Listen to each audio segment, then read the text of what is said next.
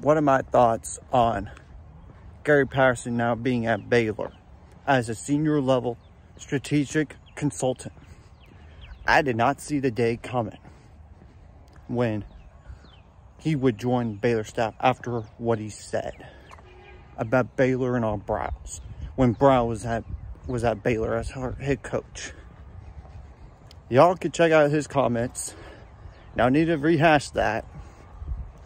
And I hated Gary Patterson. I I I did. Before then. But after what he said, I hated him even more. However,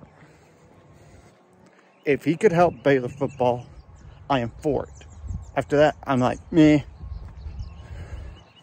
That's just crazy that that has happened. So that's just my thoughts. And yes, I'm outside in the park right now.